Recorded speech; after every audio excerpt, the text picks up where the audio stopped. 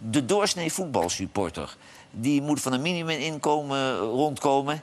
En zouden die mensen niet weten dat een hele hoop Nederlandse gezinnen... afhankelijk zijn van de voedselbank? En als je je daar laat zien, Ronald de Boer in een smoking... weet je wel, met een glas champagne...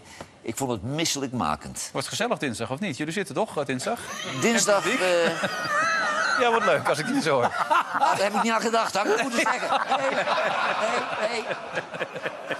Nee, oké. Eh, maar hij valt ook wel weer mee, hoor. Ja.